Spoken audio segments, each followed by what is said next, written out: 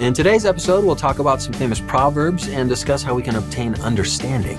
And in Ecclesiastes, we talk about the different seasons of life, especially trusting in God when it feels dark or you only have one bar on your cell coverage. Yeah.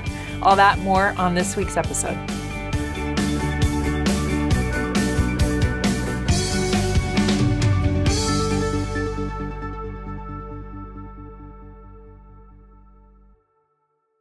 Hello and welcome back to the show. We are excited to jump in today into Ecclesiastes and Proverbs. Yeah. How you doing, Ganel-Lyn? I'm good. I'm ready to talk about real life and the scriptures. Yeah, man. So much good stuff today. Uh, we we don't often do shout outs uh, as much as we used to, Yeah. but we've just received so many beautiful messages uh, over this past year and before as well. You know, Ganel-Lyn, uh, from our the members of the church and the audience in California in the United States. So we want to just send a shout out to our friends in California who listen to the show. And I specifically am so grateful for a number of people in California because I have two boys that have now served missions in California while I've been a part of the show. And so many members have reached out to them and been a great part of their life. And currently, April Amore. April, you're a saint according to my son, and uh, hang in there. God's timing is always right in all things. You're doing great. So thank you to everyone for your support. I, I- know you have a soft spot in your heart for all the people in California. I do, and my mama was one of those moms that cut the missionaries' hair and did the laundry for the missionaries. And I grew up with the missionaries around. In Utah, we don't we don't get to hang out as much Not with as the much. missionaries. Yeah, it's a little different feel for yeah, sure. but as a as a mom that had a son out and Yep. the people that loved him, I think that's a good shout out, Yeah. John. Well, thank you to everyone who's Okay. listening and for all of your support. Uh, Proverbs, uh, we're all kind of familiar with it. It's just sort of a, a collection of uh, wise teachings that have followed according to the prologue of Proverbs, which is chapter one. I think the first few verses is technically the, the prologue. And it just talks about how if we follow these Proverbs, we'll eventually acquire knowledge, wisdom, and sort of the, the gem is understanding. And we're going to mm-hmm. talk about that a little bit today. Yeah. Yeah. Well, let's start right in Proverbs 1 7. Famous proverb. It says, The fear of the Lord is the beginning of knowledge, but fools despise wisdom and instruction. Fear of the Lord. That's an interesting phrase, right? Uh, does God want us to be scared of Him? Obviously, we know that if you look at the translation of this, Right. fear is more accurately translated as respect. And so I started thinking this time through the Lord, uh, synonyms for Lord, God, Jesus in the scriptures, truth, light, love, right? All those things. And so I started to think fear of the Lord, I like to equate it with a respect of truth or just the way things really are. I know I'm big on this. I kind of beat this drum all the time, but like just finding what's real in life. Uh, we- Everyone's so concerned about being right that sometimes we just overlook what's real. Like, who cares who's right? Let's just all work together and find out how things really are with God, with life, with the universe, right? And right now, there's so much confusion about what that is. that Absolutely. It's creating more Yep. additional anxiety because Yeah. there's no absolute truth anymore. Yeah, sort of this relative truth uh, movement, right, where everything's relative. I, I totally understand there's room for relativism in our search for truth and our truth claims. But I also believe that there is a place in this universe for truth, just the, the, the way it is, right? Um, whether we like it or not. Things like the law of gravity, whether we like it or not. We're going to fall right? down. Yeah. So, fear of the Lord, or just a respect or a commitment to live in reality at all costs, this is the beginning of knowledge. Proverbs 129 sort of hits what we were uh, talking about just, just a second ago. It says, For that they hated knowledge. So, if we hate knowledge, or sort of the way things really are, and we don't choose the fear of the Lord, they would none of my counsel. In other words, they didn't want my counsel, God says. They despised all my reproof. You know, God's like, guys, just- if if you go down that road, it's just gonna be worse and worse. Please just listen. I'm not I'm not random commandment man. Yeah. I'm really trying to I'm help you it see things. reason. Yeah. And this is what it says, Proverbs 131. Therefore shall they eat of the fruit of their own way and be filled with their own devices. That's kind of a sad verse, right? Kind of what God's saying, well, you're going to get what you want then, and and it won't be as good as what I could have led you to, mm-hmm. right? The green pastures that he speaks about. But whoso hearkeneth unto me shall dwell safely and shall be quiet. from fear of evil. And that's another phrase that just stood out to me quiet from the fear of evil. Not that you won't encounter evil, but when you encounter hard times and darkness, you'll be quiet in the midst of it. I love peaceful. that promise. Yeah. And finally, in Proverbs 15, correction, or when the fruits of our choices are not what we wanted or expected. Right. Correction is grievous unto him that forsaketh the way, and he that hateth reproof shall die. And I just see that as meaning you'll die. It just means your quality of life will continually diminish more and more and more as long as we continue to choose to remain sort of in defiance of what's just real Like David Thompson said, less effective. less effective. I love that. Yeah, I remember that. I loved it. So, anyway, uh, finally, verse 33 of Proverbs 15 the fear of the Lord is the instruction of wisdom. And before honor, before honor comes in our life, is humility. Oh, so important. Humility and openness and acknowledgement of the way things really are, and a commitment to just live according to those things, regardless of my agenda or my desires. And I think it's hard to try to either follow commandments, make changes, submit to the will of the Lord if there's not humility. Yeah. So, Proverbs this year, probably more than past years, hmm. is familiar for the youth of the church because it's the theme. The Theme. Yeah. So, if you have youth in your home, they better know at least a few of the verses Yeah. this week that you could discuss and, and talk about in your families. Uh, Proverbs 3 5 through 6 Trust in the Lord with all thine heart, and lean not unto thine own understanding. In all thy ways acknowledge him, and he shall direct thy paths. And you had a fun tidbit about that word trust. Yeah, so in, in the in the Old Testament, the word faith is only used twice, which which which may seem strange to some of us, but the word that's used the most in the Old Testament is trust, and uh, a lot of times, uh, you know, the, the word that they'll use in Hebrew for trust is the same as those two instances as Mm-hmm. It feels yeah. synonymous Yeah, in yeah, some ways, And right? so faith is trusting in God. Yeah, and I was thinking about this idea of what you just shared about humility, about what's absolute truth, and then this idea of this year's theme being really about trusting in the Lord and not leaning unto our own understanding, which I think goes exactly with what you just already opened this discussion with. And I think uh, it's so easy for me to kind of get out of balance in this area where I feel like I'm doing or responding to a prompting from the Lord. And so I'm, you know, Yeah. heading down the road and then something gets thrown in the way and or I feel like heaven is quieter. And I've talked about this a little bit recently on the show where it's like, okay, who am I trusting? Like the lights kind of go out. Yeah. And I've had this on my mind a lot, and I and I came across this great quote from Bonnie Cordon from 2017, This is a great one. where she says, "The visual image, the warning comes in the words lean not, lean not unto thine own understanding." In English, the word lean has a connotation of physically listing or moving to one side. When we physically lean toward one side or another, we move off center. We are out of balance and we tip. When we spiritually lean to our own understanding, we lean away from the Savior. That's the key. I love that. And then she goes on to say, if we lean, we are not centered, we are not balanced, we are not focused on Christ. And so I've I've reflected on um, a few months ago feeling like my own understanding was really foggy and I wasn't hearing God at the same time. So the the colliding of both those um, situations made me more anxious, more afraid. Was I hearing the right messages from God? How how was I supposed to navigate work, family, my health, all of these things? And it just started to feel like I was caught in the weeds. And we talked about it on a previous episode where you had a similar situation. You went to the Lord within a few weeks. You had some clear direction mm, on mm, what to do to mm. change it. And after we taped that episode, I it started to feel like some of the fog was starting to clear up. And I finally had words to describe this this situation that I had found myself in for nearly 9 months Yeah. while doing this show, while talking about God, right?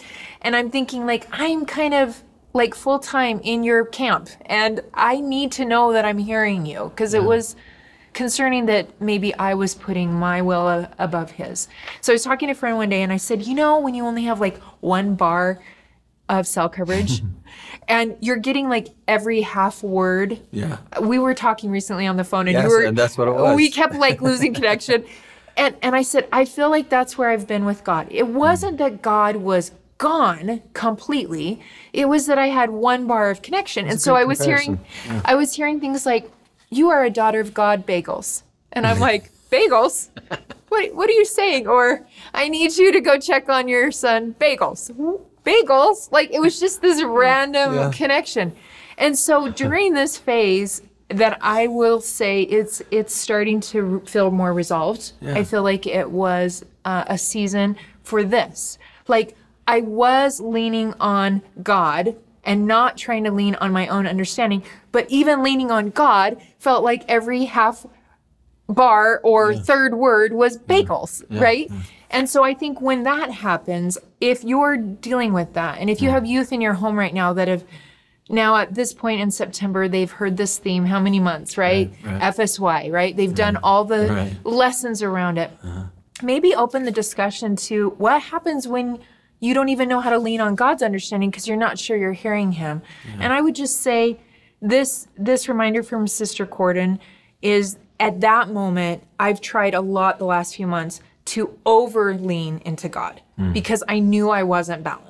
Yeah. I knew I was vulnerable because I was hearing like every third word. Right. And that cycle has changed. And I have started to feel like I can look back a little bit, see some growth where I had to mm-hmm. learn to lean on Him more because it wasn't what was working wasn't previously working. Yeah. I don't even feel like I said that effectively, but if it was a half bar I- I- explanation yeah, yeah, of a principle, I, I hope it translated Yeah. to someone in our audience. Well, and I especially liked how you alluded to the cycle of growth. right. And how that cycle includes those moments of bagel, sort Yeah. of miscommunication or foggy communication or mistakes or, you know, whatever the case might be. And I think that leads nicely into Proverbs 4, 5, and 7, where this, this is what the Savior says get wisdom, get understanding. I mean, I say the Savior is speaking through his uh, you know, prophet and whoever is writing this. That's something we didn't talk about. Is that these, most of these are ascribed to Solomon, but uh, not Mm-hmm. We all don't- of them. Not yeah. all of them, Somewhat like Psalms. We don't yeah, yeah. know Right, right, right, right. chronologically where it all, yeah, yeah. Anyway, he says, get wisdom, get understanding, forget it not, neither decline from the words of my mouth. Wisdom is the principal thing. Therefore, get wisdom. Okay, so for me, I like, I like. Okay, this is how I've seen this progression, and of course, you can see it differently and define these words differently if you choose. But knowledge is sort of just a basic understanding of something. We get wisdom when we act on it, and we have experience Right. connected with that knowledge. But then he says this with all of your wisdom, get understanding. And I started to think, how is understanding sort of the next step beyond wisdom? And I started to see it as this cycle, this process of growth. I understand something, sorry, I know something, I act on it, I have experiences with it, I have wisdom about it. But the understanding is the key, it's the gem because that comes from processing what I experienced.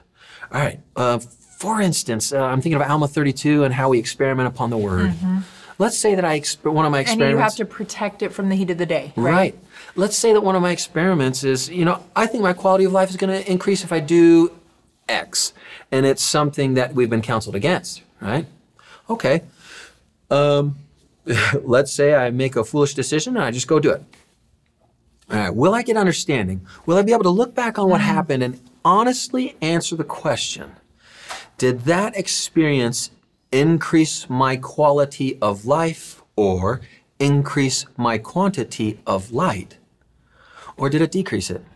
And it's in our honest moment of surrender and processing in humility what actually is happening in our lives um, in connection to what we are choosing.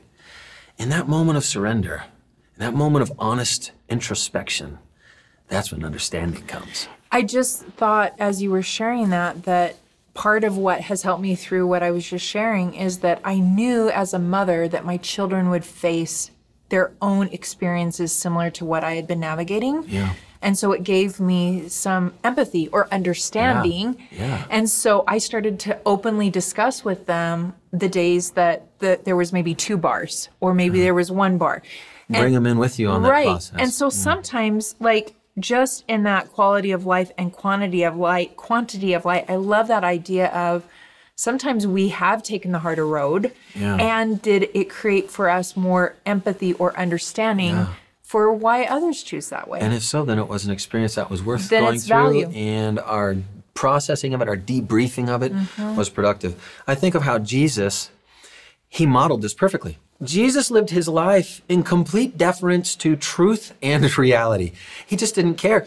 Uh, so Pharisees and Sadducees, you need to do it this way. Jesus was like, uh, no, that's not true. So no, he wasn't like angry and, and, and didn't have a you know sort of a, a bitter agenda. He was just like, nope, not true. Uh, see he someone didn't who's angry tweet back. right. That's a good one. He was just like he would see someone doing something evil or wicked and just be like, yeah, that's that's not right either. He just lived in this constant state of deference to what is real and what is true. What is real. And that's why C.S. Lewis Yeah. calls Jesus the only complete realist. I really like that title for Jesus. And maybe I'll just finish this little part with Proverbs 16, 18, the famous one. Pride goeth before destruction, and a haughty spirit, meaning a arrogant, prideful spirit, without the hu- humility, without Right. the wisdom. this goes before a fall. Yeah. Yeah. Okay, I'd like to jump jump to Proverbs 31 20. Um, this is this verse says, She stretched out her hand to the poor, yea, she reached forth her hands to the needy. And when I read that, I was thinking about um, to me one of the greatest examples of serving this demographic of poor, which was Mother Teresa. And I found this great quote where a journalist once asked Mother Teresa about how hopeless her task seemed to be of rescuing the destitute in the city because there were so many. And this right? comes from Jeffrey R. Holland's Right. talk. He Yeah. he re Yeah, yeah. re-quoted this. He said that statistically speaking, she was accomplishing absolutely nothing. And so, Hmm. if we think about all of us from the Book of Mormon reference, that we're all poor, and we're all poor in need of something. Maybe Hmm. it's not money or housing or food. Um, Mother Teresa's response was remarkable. She said, "This little," he said, "This, this remarkable little woman shot back that her work was about love, not statistics. Notwithstanding the staggering number beyond her reach, she, she said she could keep the commandment to love God and her neighbor by serving those within her reach with whatever resources she had. And I was thinking about situations where we've we've shared on this on the show at times some some examples of where we've tried to do that. And Yeah. one of them came to mind for me where I was in a CVS during the pandemic when we were really supposed to not be like associating with anyone at the store. Remember all the stickers on the floor? And I saw a woman who was distressed come in, and I happened to have cash um, that I was trying to get to the bank to deposit, and the ATM didn't work. And so I had a lot of cash that was unusual. And I wandered around the store because I wanted to do something to help her, but I didn't know if she was going to be like if I was in her personal Right, space, right, right, Right. I and know that feeling. It was debate Yeah. constant with God. Like, what do you want me? Do you want me to hand her all the money? Do you want me to just walk away? Do you want me to throw it in her cart? Do you like? And finally, this, Throw it in and run away. I know. I great- mean, literally, that's what I was thinking.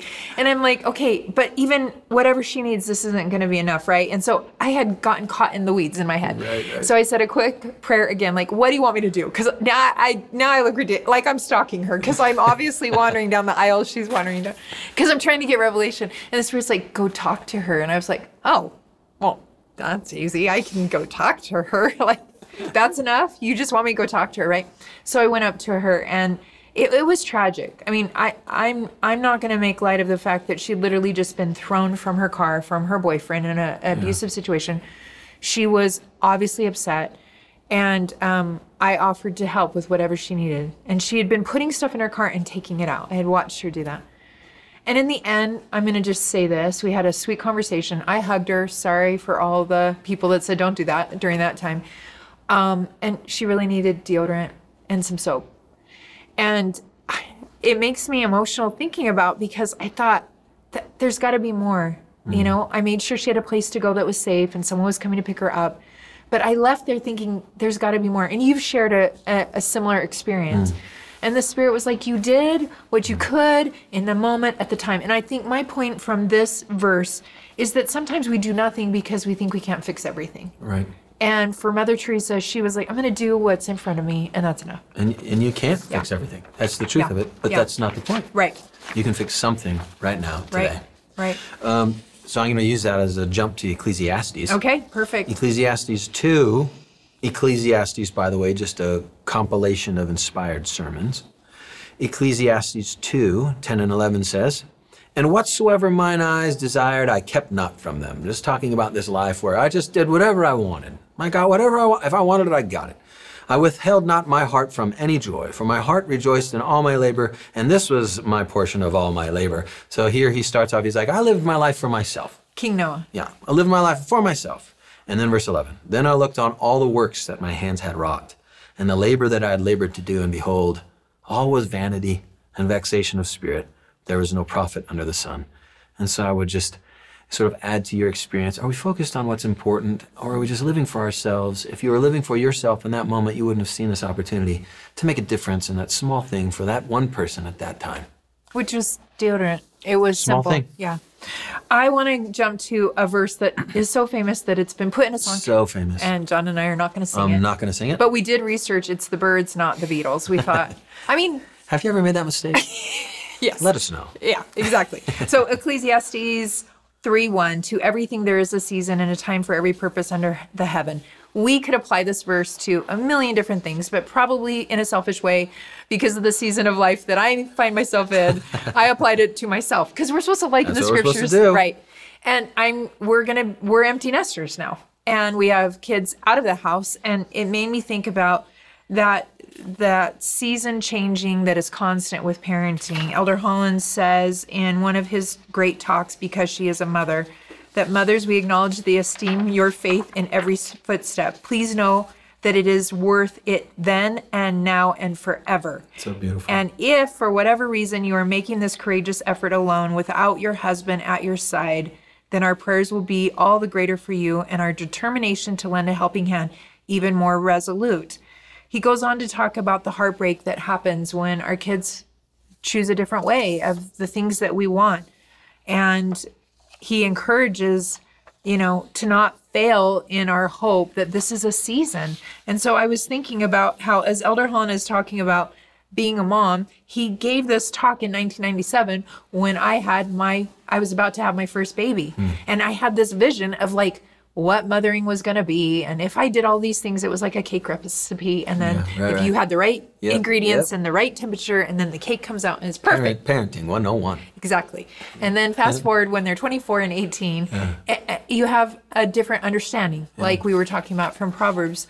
And I think as you know, I've reflected and shared a lot on stewardship. This this stewardship and the parenting season changes. And what my kids needed when they were little is different than what they need now. And it can be confusing. And so I would just say maybe use that verse to ask, like, God, what do you want me to do in this season? It's different than what the season, or maybe for your family, it's a totally different season because Yeah. your children are making different choices and not going to comparison. I guess that's my point. I love it.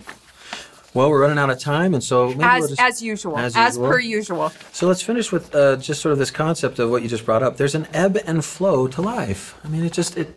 Sometimes it's easy, sometimes it's hard, and, and I promise you, if it's easy for you right now, it's you're going to go through a season A that's different difficult season, coming uh-huh. up, and that's just the program. It has little to do with sort of my righteousness or my unrighteousness. Uh, surely I can add weight to my life if I make bad decisions, and surely I can smooth the road a little bit if I make good decisions. But no matter how hard we try, we will not escape this ebb and flow of life, like the tides. It comes in and out, in and out. And so if you are currently in a day of darkness, uh, I'll leave you with Ecclesiastes 11. Truly the light is sweet, and a pleasant thing it is for the eyes to behold the sun. But if a man live many years and rejoice in them all, yet let him remember the days of darkness, for they shall be many. So life is amazing, and there's lots of beautiful things that happen, but it's important for us to remember those dark times too, and to process those dark times and get understanding. I think the best conclusion is the conclusion given us in Ecclesiastes 12, 13. It says, Let us hear the conclusion of the whole matter. You, you really get it that straight. And this is for Ecclesiastes and I think for Proverbs as well. It says, Fear God, keep his commandments. This is the whole duty of man. For God shall bring every work into judgment, every secret thing, whether it be good or whether it be evil. And so, what will I do with the agency God has given me and the atoning grace of Jesus Christ that He's made available to me? What will I do to make something out of my life? No matter what the season. Yep. So we want to leave you with an invitation that how can you more fully trust God no matter what season of life you're in, where you lean more into the understanding of Him in your life. And maybe that means that you do more to stay close to Him so that you can feel Him and hear Him even when it's a hard and difficult season. We hope that this week's discussion has blessed you in some way and helped strengthen your relationship with God. And we'll see you again next week.